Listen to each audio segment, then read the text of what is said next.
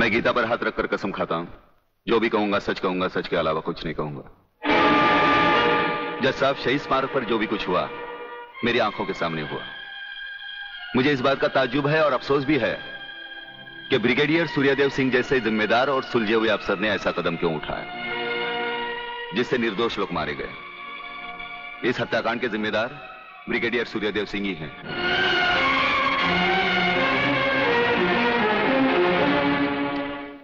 Brigadier Suryadev Singh अदालत ने आपके खिलाफ सारे बयान सुने। आप अपनी सफ़ाई में कुछ कहना चाहेंगे या आपका कोई वकील है? हम अपनी डिफेंस खुद करेंगे। सिर्फ़ आपकी इजाज़त चाहिए। इजाज़त है?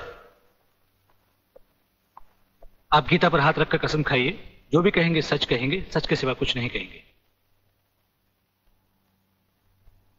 जज साहब क्या अदालत को यकीन है कि गीता और कुरान या बाइबल जैसे पवित्र ग्रंथों पर हाथ रखकर जो गवाहियाँ दी जाती हैं, वो सच होती हैं? अगर इन कस्मों के बावजूद भी गवाह सच नहीं बोलता तो फिर अदालत में इन पवित्र ग्रंथों का अपमान किस लिए, जज साहब? अगर फैसला ऐसे सबूत और गवाहों की बिना पर ही होता है जो पैसे से खरीदे जा सकते हैं तो बंद करवा दीजिए ऐसे रस्म रवाज जो कि झूठे हैं। ये मुकद्दस ग्रंथ हमारे धर्म और ईमान का ताज है। हमारी ज़िंदगी की बुनियाद है। हम ये कसम खाएँ भी तो कैसे खाएँ? यह अदालत आपकी दलीलों की कदर करती है, ब्रिगेडियर साहब। लेकिन यह अदालत की बरसों पुरानी रस्म है जो मैं नहीं बदल सकता। तो फिर हम भी अपने जमीर के खिलाफ नहीं जा सकते चाहे वो अदालत हो या जंग का मैदान। आप अपना फैसला सुनाकर अदालत की रस्म को पूरा कीजिए। तमाम सबूत और गवाहों के बयानात को मद्देनजर रखते हुए यह अदालत इस नतीजे पर पहुँची है कि शहीद स्मारक पर बेगुनाहों पर पुलिस ने गोली ब्रिगेडियर सूर्यदेव सिंह के कहने पर चलाई। इसलिए यह अदालत ब्रिगेडियर सूर्यदेव सिंह को एक साल कैद की सजा सुनाती है।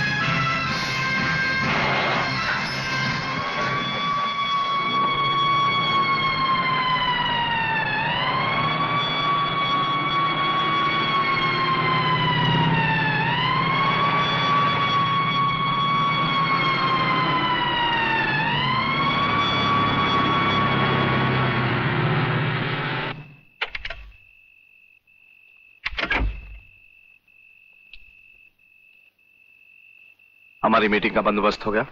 यस सर सूर्यदेव सिंह को आप जेल के तहखाने में मिल सकते हैं। गवर्नमेंट डिसिप्लिनरी एक्शन का मामला है। इसलिए हमारे साथ हमारे सेक्रेटरी के अलावा और कोई नहीं जाएगा। Right sir this way please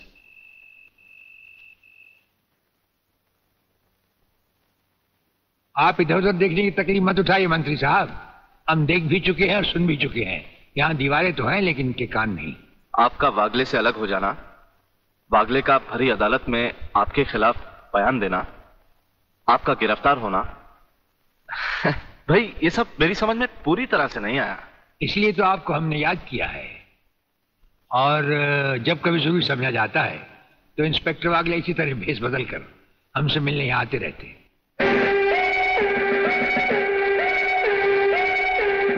sir brigadier साहब का हमसे अलग होना, जेल में आ जाना, इससे दुश्मन हमें कमज़ोर समझकर लापरवाह हो जाएँगे। और उनकी इसी लापरवाही का फ़ायदा उठाकर हम उनकी जड़ें आसानी से काट सकते हैं। हम जिन जरायम की तलाश में हैं, उसकी कुछ जड़ें इस जेल की चार दीवारी में भी पैवस्त हैं। उन्हें ढूंढकर निकाल कर हमें खोदना होगा।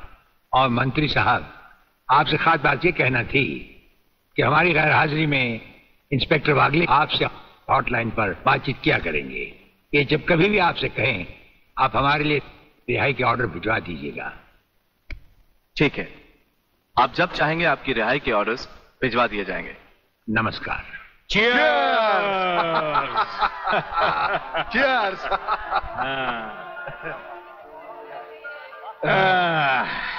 नया साल बहुत बहुत मुबारक हो प्रलयनाथ। नया साल तुम्हें मुबारक। और सूर्यदेव सिंह का जेल जाना मुझे मुबारक। राधा बिटिया कहीं नज़र नहीं आ रही? नज़र तो तुम्हारा बेटा रसिक नाथ भी नहीं आ रहा। अरे भाई इन नौजवान लोगों का हम बूढ़ों से क्या मतलब? मना रहे होंगे कहीं नया साल अपने जवान दोस्तों के साथ।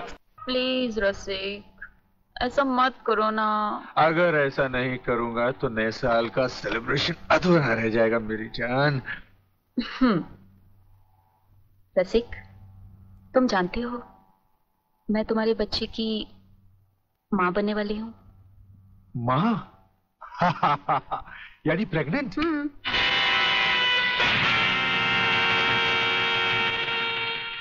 अनीता? तुम हाँ मैं। कह दो इसे भी। प्रेगनेंसी में परेशानी क्या है? करवा लो अबोशन।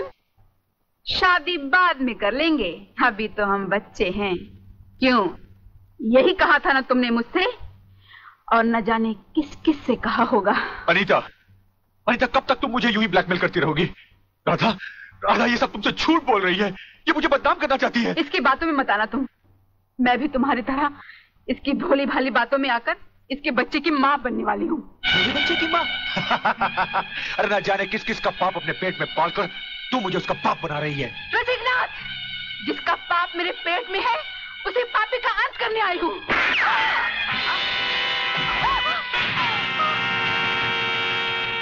ये ये तुमने क्या किया? रसिक तुमने इसे मार डाला? तो और क्या करता?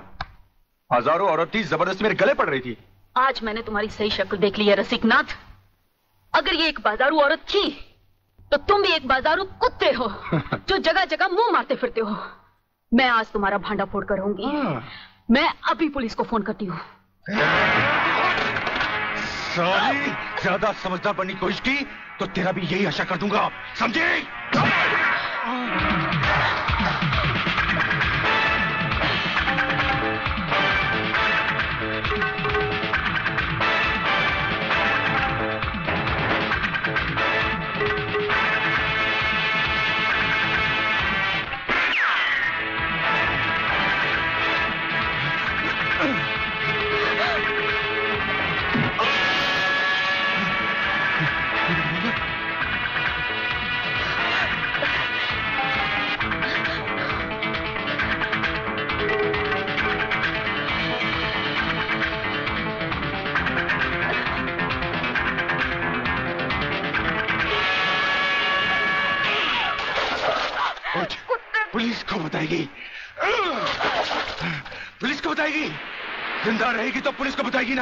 न पास न बचेगी बसरी। मैं तुझे खत्म कर दूँगा कमीनी।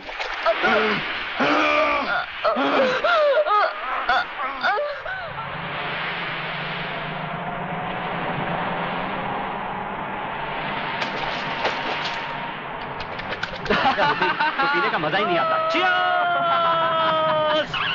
अरे क्या हुआ? अबे सामने देख। लड़की की लाश? अरे नहीं यार ये भी कोई हमारी तरह नशे और मस्ती में चूर लगती है। चलो उसे और पिलाते हैं। अपना भी नया साल सुधर जाए। अबे नया साल सुधारने के बच्चे अगर लफड़े में फंस गए ना तो ज़िंदगी बिगड़ जाएगी। हमें क्या मालूम वो ज़िंदा है या मुर्दा? क्यों संजू? कुछ भी हुआ लोग। मगर इंसानियत के नाते उसे देखना हमारा फ़र्ज़ है। चलो चलो देखते हैं।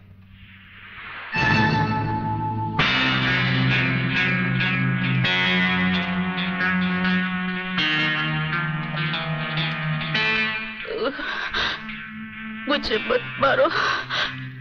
प्लीज़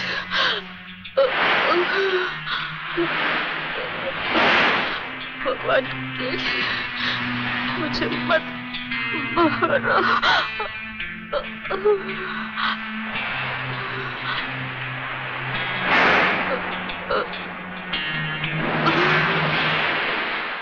अरे, ये तो फिर से बेहोश हो गई।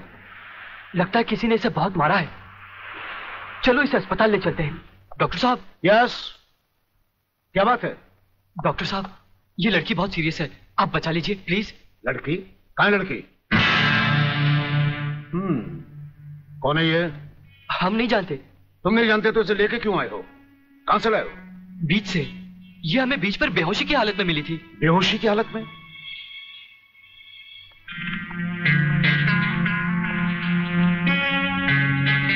इसकी हालत तुम लोगों ने इसके साथ थर्टी फ़र्स्ट नाइट बना के तो नहीं की है ना? हम लोगों ने? ये क्या कह रहे हैं डॉक्टर साहब? नहीं नहीं हम लोगों ने ऐसा कुछ नहीं किया। देखा तुम लोगों ने? मैं तुम लोगों को पहले ही कह रहा था मगर? नहीं यार चुप रह तू। डरता क्यों है? डॉक्टर साहब ये वक्त इधर उधर की बातों का नहीं है। हम पर भरोसा कीजिए और जल्दी से इलाज कीजिए। बातों से समझदार मालूम होते और मुँह से शराब की बदबू भी आ रही है। लेकिन भाई मेरे ये मामला तो पुलिस का है। पुलिस? हाँ मगर पुलिस क्यों डॉक्टर साहब? क्योंकि इस तरह के केसेस पुलिस में दर्ज करवाए जाते हैं।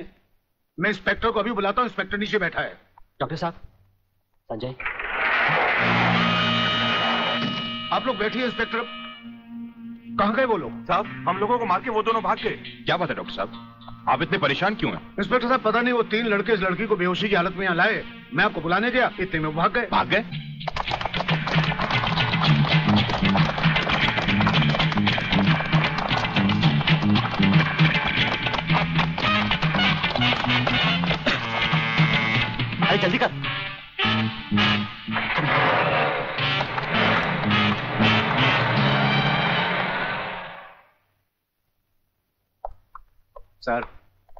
ये है उस लड़की की मेडिकल रिपोर्ट हम्म रेप कैसे नो सर लड़की के पेट में दो महीने का बच्चा है. लड़की को होश आया? नो सर हम्म उसका कुछ अता पता? अब तो उसके होश में आने के बाद ही पता लगेगा कि वो कौन है और उसके पेट में बच्चा किसका है. अगल से भी अगल अरे अगल से भी अगल अरे बेटे अंग्रेज़ी को मार गोली और हिंदी में समझा। क्या बात है? सगाश्री पिताश्री मेरे परलोक सुधारने का प्रबंध कर रहे हैं। अरे। तुम वो मेरी हत्या कर तुम जैसी कमीना औलाद को मार डालना ही बेहतर होगा। देखता हूँ आज तुम्हें कौन बचाता है। प्रलयनाथ तुम बीच में मत बोलो जीवनलाल। इस कमीने ने आज मेरी इज़्ज़त मिट्टी में मिला दी है। मैं इसे जान से मार बात क्या है? क्या किया है इसने? ये बात तुम मुझसे पूछो तो अच्छा होगा। अच्छा अच्छा। रुक जाओ शांति करो। बेटे रसिक चलो उठो। बताओ क्या बात है? हैं? अंकल अंकल मैं हाँ हाँ बोलो डरो मत। अ, अंकल मैं एक लड़की से मोहब्बत करते हो यही ना? हाँ। तुम भी कमाल करते हो प्रलयनाथ। बेटे की मोहब्बत बर्दाश्त नहीं कर पाए। उसे मारने पर तो लाए अरे मोहब्बत करना तो आजकल के नौजवानों का फ़ैशन है। बात यह नहीं है जीवनलाल सच तो यह है कि इसकी मोहब्बत के चक्कर में वो लड़की इसके बच्चे की माँ बनने वाली। ओहो तो इसमें कौन सी नई बात है? करवा दो शादी। और अगर लड़की अपने बराबर की नहीं है तो करवा दो एबॉर्शन मगर जीवनलाल बात यह अरे है यार ऐसे मामले में बात बात कुछ नहीं होती। सीधी सी बात है। अगर वो लड़की नहीं मानती तो पैसे वैसे देकर अपनी जान छुड़वा लो। और अगर फिर भी नहीं मानती तो तुम्हारे लिए किसी की जान लेना कौन सी नई बात है? प्रणयनाथ तुम तो खाम खा उस लड़की के लिए अपने बेटे की जान के पीछे पड़े हो। दरअसल बात यह है, जीवनलाल, की वो लड़की तुम्हारी बेटी राधा है।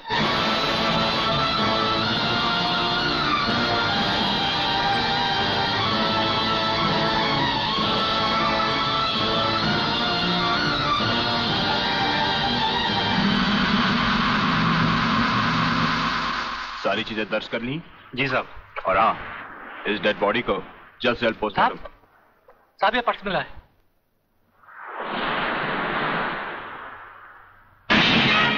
संजय आर चौहान? मेरा पर्स बीच पर या अस्पताल में गिरा है। अगर वो पुलिस को मिल गया तो कहीं हम फंस ना जाए। नहीं यार अरे जब हम लोगों ने कुछ बुरा किया ही नहीं है तो हम फंस क्यों जाएँगे? अरे मैंने पहले ही कहा था ये इस चक्कर में मत पड़ो उल्टे फंसेंगे। लेकिन मेरी सुनी किसने थी? मैं कहती हूँ डर डर के कब तक ये बात सबसे छुपाते रहोगे। चलो माँ जी को सब सच बता देते हैं सब ठीक हो जाएगा।